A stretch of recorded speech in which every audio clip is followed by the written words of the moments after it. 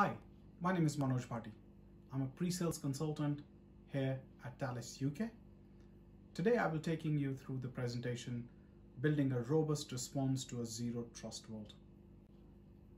We have recently released our Thales Data Threat Report 2020 for the European customers. It, uh, uh, it covers the entire European region. If you haven't read the report, I will highly recommend you to watch Chris Harris's presentation where he covers the entire report. You'd be uh, able to uh, see and understand where as a European uh, region where we store our data, how the security has been perceived and implemented throughout the region. At Thales, we try to do a small research to find out um, who's, uh, who's responsible for the data security within an organization. The findings were a little surprising for us. We looked at the various different job profiles and the top five priorities of each of these job profiles. We looked at the job profiles for, for the people who were managing application level, um, database level, file and folder or, or operating system level, hypervisor level, and even at the storage level.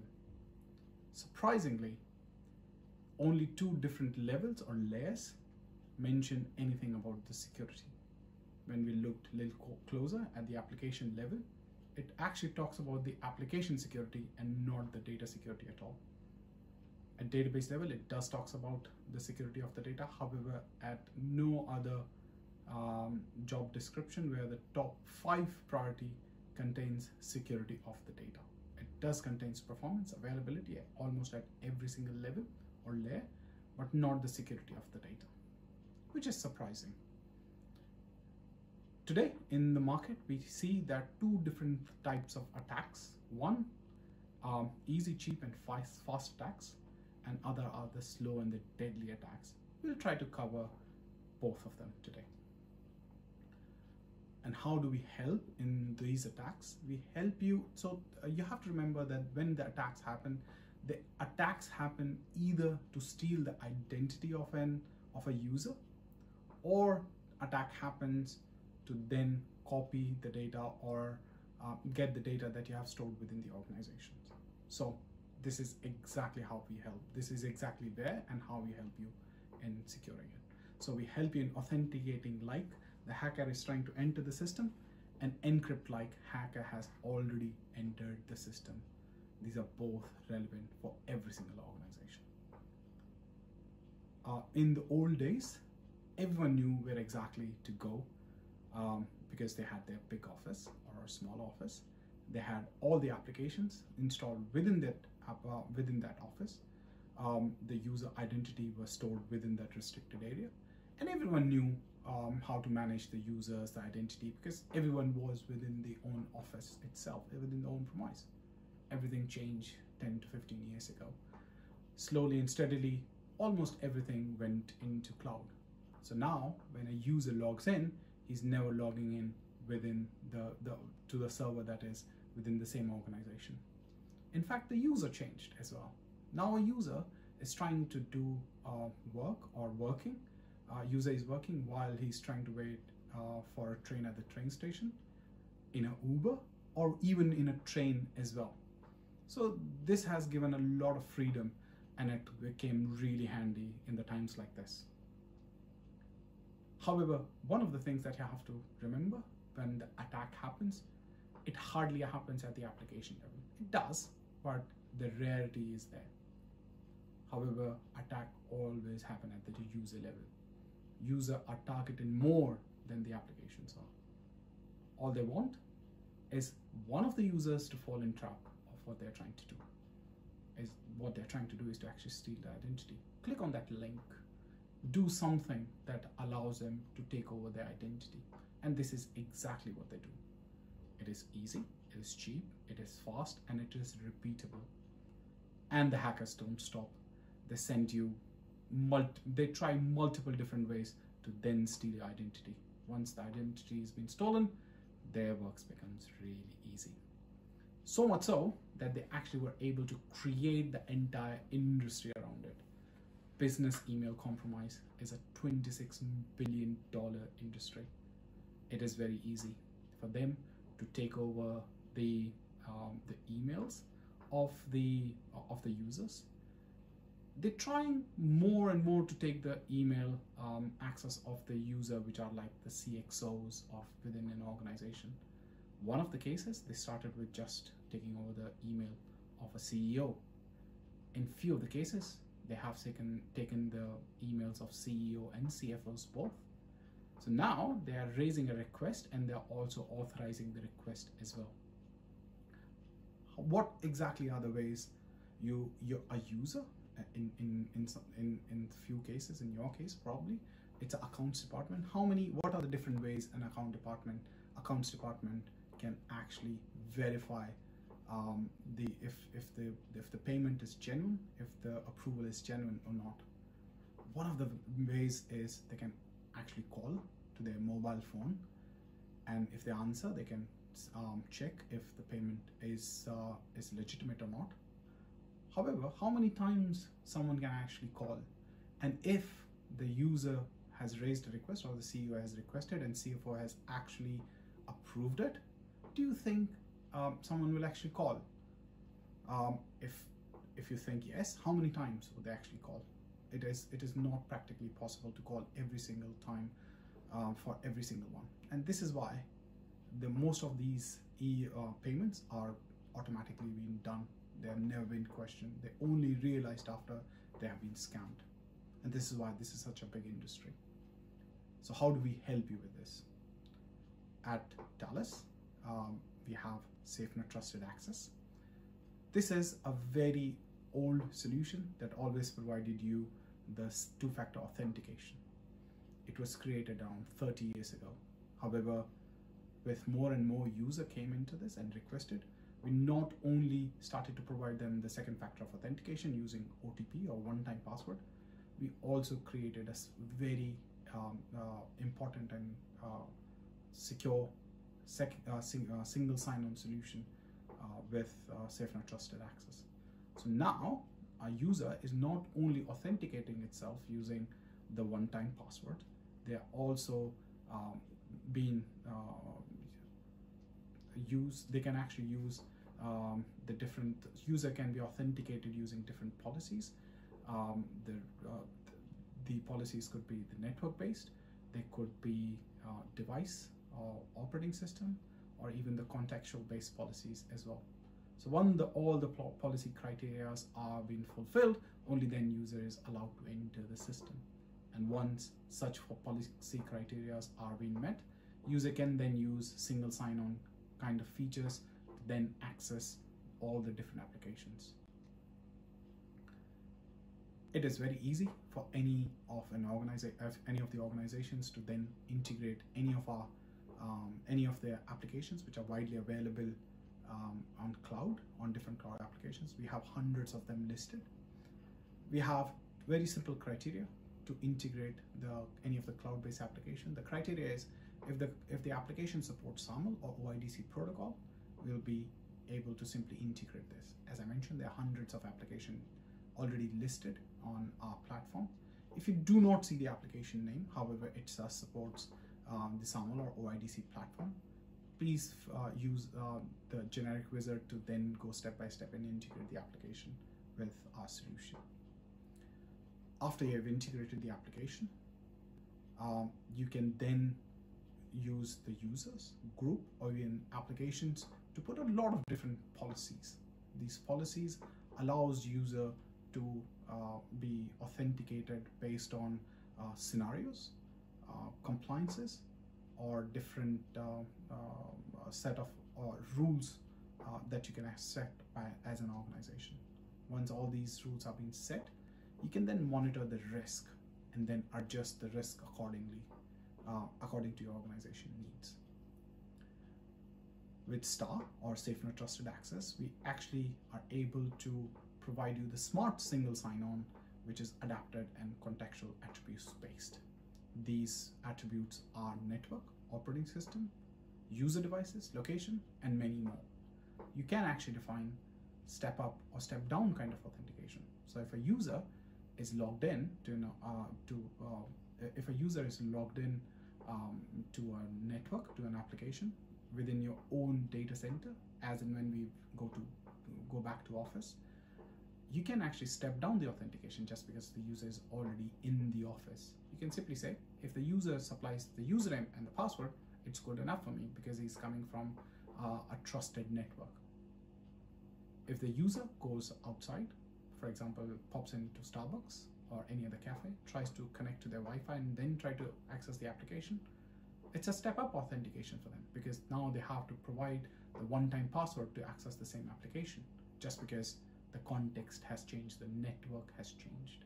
Similarly, if a user is using a certain operating system, you can simply define a user. Um, users can use a certain operating system or even the version of operating systems itself or not. So you can define user should only be using Windows and not Mac just because your organization never issued a Mac machines or you can uh, define uh, the the organization has provided android phones or for example iphones to all the users so any um, authentication request that comes from um, other platforms will be simply denied uh, also you can simply say the user device if a user has not used uh, you have to, a user has to authenticate its device um, every five days seven days a month so that uh, you know that the user is actually coming from the right devices or the same devices or even the, the locations. You can blacklist any of the locations. So for example, as a global organization, you want your users to uh, go in all different countries. However, for example, not to North Korea, you can actually um, uh, put North Korea in a blacklist or any other country as well. These are the different contextual ways to actually authenticate a user. However, now comes the question, how do you actually deliver the OTP? We have the biggest um, chunk of software as well as the hardware-based tokens. So software-based tokens can be installed on iPhones, Android, um, laptops, desktops, uh, Mac OS X, um, the Blackberries, Windows-based phones, and we also have the SMS based or the email based tokens that can be installed anywhere. That can be used with any of the uh, uh, any of the mobile phones if they have the, the reception. If they do not want to install the software token on their phone, they should be receiving an SMS or um, they can actually receive email as well for the token. Um, if users simply deny uh, installing any app or receiving any SMS on their phone, you can give them a hardware-based token, which are very popular. And using the same hardware-based token, for example, if you want to authenticate your users to Office 365, you can do that just because we are completely vendor agnostic solution. We also have a very special token called a grid-based or a pattern-based token. This grid-based token is a grid of 5x5, 6x6, or a 7x7 numbers. When a token has been issued to a user, user chooses its pattern. Now, then when the grid comes, uh, being displayed um, to, uh, for a user. This user has to choose um, his or her own pattern and the number um, that comes in front of them are completely refreshed every single time. So it's a fresh set of numbers. So the numbers in their um, pattern becomes their OTP or one-time password. Now, uh, every single time uh, a user, uh, the, the, the, user uh, tries to tries to log into an application, they have to authenticate using uh, this pattern-based token. But the token is not something that they have. This is something that's been populated. And we understand this is not exactly a true two-factor authentication because it's not something that you have. It's been populated. Um, however, it's still a one-time password and it's much securer than the password itself. Uh, we also have the PKI based tokens and later this year um, we will be uh, we, uh, later this year or beginning of next year, we will be launching our FIDO tokens as well. One of the other special tokens is, uh, is called Mobile Pass Plus token. This actually gives you the, the capabilities of using one-time password as a push notification. It is amazing. It's a great user experience. So for a user, if you look on the screen, user tries, is trying to access an application. Let's say, for example, Office 365. When the user tries to log in, they put in their username. Um, they actually see uh, a, a pop-up on their phone saying um, Office 365 is trying to access the token. They approve it. and they approve it using their biometrics. If uh, if their phone supports face uh, face um, uh, face ID, they they authenticate using Face ID. If um, their phone supports Finger ID, then they authenticate using Finger ID. And when the, as soon as they authenticate, the OTP is been then pushed from their phone to the application. So user doesn't effectively have to write down or type in the OTP at any place. And it is an amazing experience. Um, the, just because um, user doesn't have to type anything and everything happens automatically. This is how we are able to create the passwordless authentication. A user is able to simply use the token, uh, authenticate, and just because we are not only dealing with um, the uh, unlocking of the phone, we also have the authentication on the app itself. That simply means if a phone is lying unlocked unknowingly, any of your colleague, anyone who's in your close proximity would not be able to uh, use your token just because the phone was unlocked. The other benefit of this is that once um, you log in to the application, you know you can authenticate the user just because it doesn't relies on the phone unlocking security itself. Our tokens can be only installed one time. So once a user receives um, uh, a link to install our tokens, when as soon as they click on that link and install it, the link expires. Um, the other level of security that we have pushed uh, uh, into the token is the seed is never open itself. The moment you install the token, the same seed is generated at the device level and um, as it generates at the at the server level. So the seed has never been sent over the air at all. It's been automatically generated when you install the token. It makes the whole thing amazingly secure. As you all know, um, when you have a good start, it's a battle half won. This is if you're able to implement the second factor of authentication with single sign-on, you're not only giving amazing level of security to the users, it's also a great user experience and, and it's amazingly secure. Uh, make the whole environment very, very secure. For a hacker to log in, they have to now break the one-time password, which let's say it's very, very hard just because not only you, they have to work out the um, the six digit code, they also have to then break all the other contextual based um, the policies that you have put in. Again, based on the users, uh, uh, users operating system, networks, uh, devices, um, geolocations, and all or all of them combined together. Once that happens, what's the next step? The next step is the data. This is where the slow and the deadly attacks happen. So what happens when someone is trying to attack you and trying to steal your data? In the old times, we were trying to create a zero trust environment by putting more and more and more firewalls just because at that point of time, you wanted to stop anyone, you had to use the technology of firewalls that blocks the other. And this kept on for a few years before everything get out of control and went into cloud and this is where the the whole uh, the the security and then being started to being perceived as a fight between security and availability. And everything falls just because the security is being perceived as a threat to availability. This is why at the application level you will see programmers keeping a copy of their code somewhere safe. At the database level you would see multiple copies of the databases one encrypted, which is in production, other unencrypted, which is, let's say, um, so-called hidden, but in a completely unencrypted way, unencrypted uh, form. Um, at the uh, at the operating system level, you see multiple uh, copies of the machine, snapshots, which are left unencrypted with um, with the sensitive data lying on them. At the storage level, the same thing. You, if there is a uh, if there is a folder, if there is a storage, uh, if there is a share, which is deemed very uh, sensitive, they create multiple copies of it, often unencrypted, just because they are they fear the availability. They have a sla to maintain and this is why they create multiple copies of these databases or the, the storages. And this is exactly where the security fails.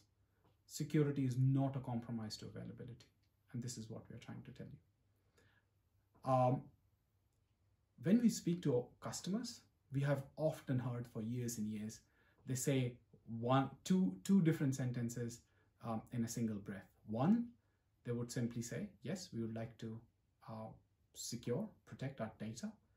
And the second thing they say in the same breath is they don't know where the data is. Um, at some point of time, it'll stop sounding funny. However, this is exact reason why we came up with um, the three-point solutions or security uh, that is on three different points. So we help you in discovering the sensitive data, protecting the sensitive data, and then controlling the data and the keys together. We're able to achieve this by using our uh, key management solution. We called it as CipherTrust Manager. We always had a key management solution. It was called Key Secure.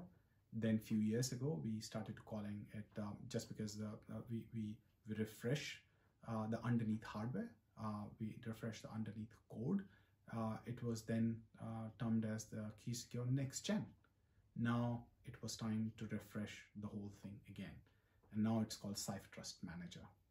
It is a solution that is a combination of two different key management solution one historically came from safenet or Gemalto and the other one that came from more Metric Thales or it was called DSM so the cipher trust management uh, uh, Trust Manager is a combination of both. It is an amazing solution. It helps you in storing, generating, uh, generating, storing um, the keys at one single location, uh, and also storing the security policies that you would be using all the different encryption connectors with in the same place. Um, you can manage it using REST APIs. We also have the APIs to provide you the encryption um, using REST, Java, .NET, um, it also have the multi-tenant capabilities to give you a complete multi-tenant um, environment um, when, when you're trying to use it within the same uh, organization. Uh, the best thing, it's available as both virtual and the hardware appliance.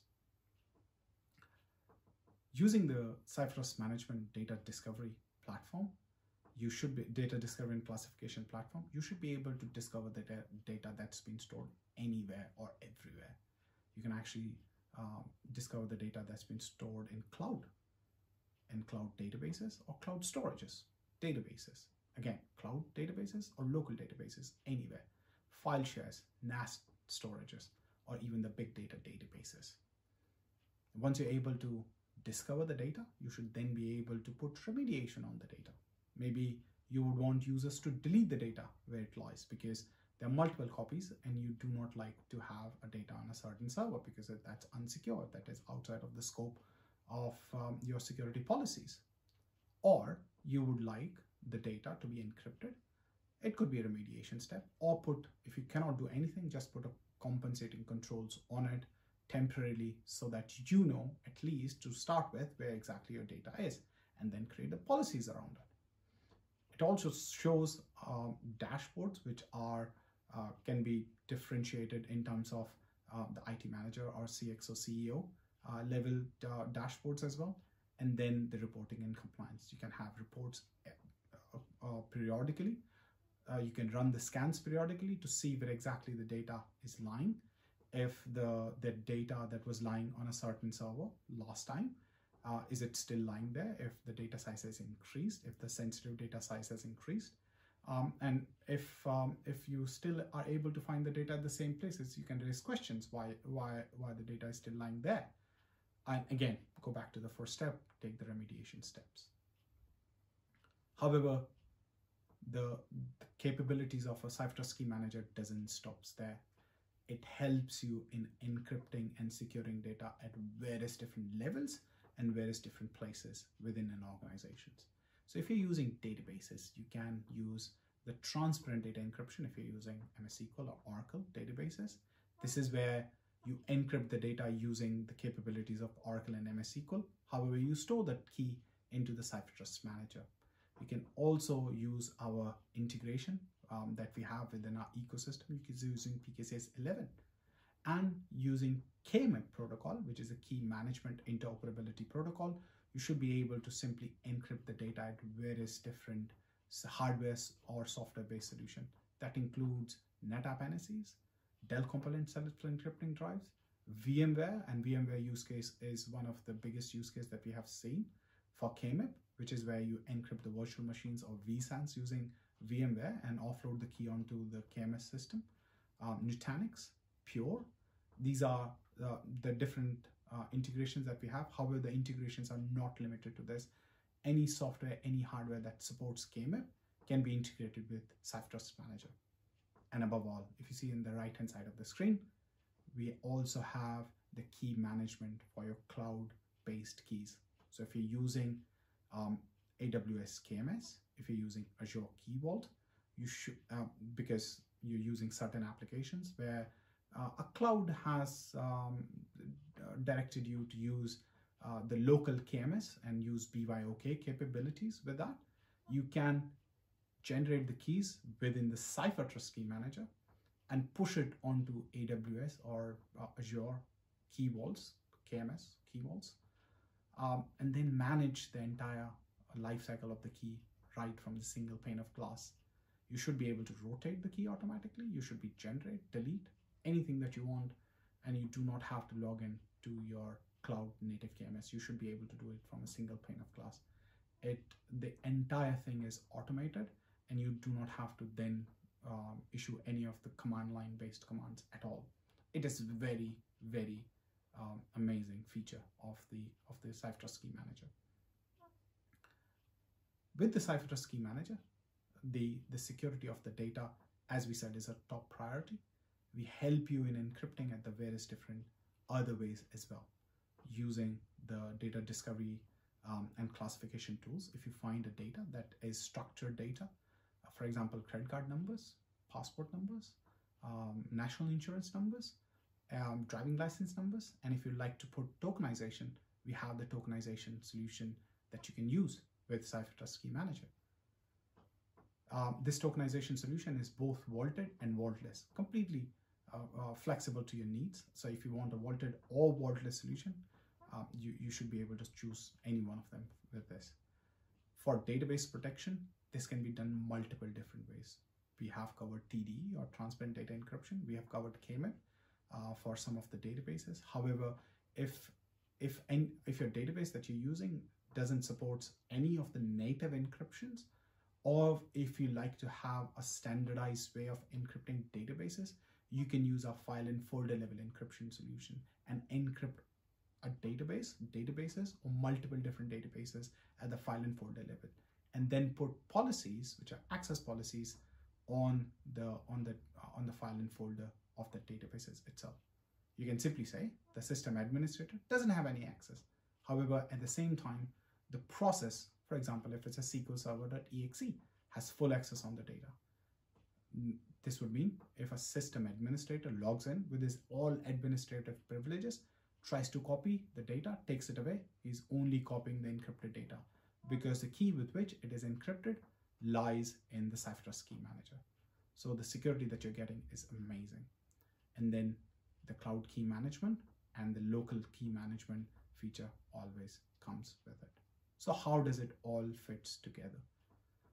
At the top of the um, of the diagram, you should be able to see these are all the different points or the places where the data is stored using the data discovery and classification solution, you should be able to find the data there.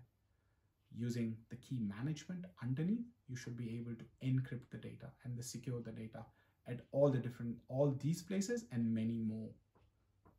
You can then use our hardware security modules or HSMs as a root of trust for the key management servers to provide you that extra layer of protection. And then use the HSMs for all different needs including PKI, and then all the other where you have, you can use the SSL offloading facility of the HSM. That includes Palo Alto, F5, Citrix NetScaler. We also have integration with CyberArk, Venafi. Um, now, if you if you're trying to use um, the the newer vendors like Keyfactor or AppViewX, we also have integrations with those as well. Um, and then if you're trying to copy the data from one data center to other data center, you can use our high-speed encryptors, which encrypts the data at the layer two at an amazingly high speed.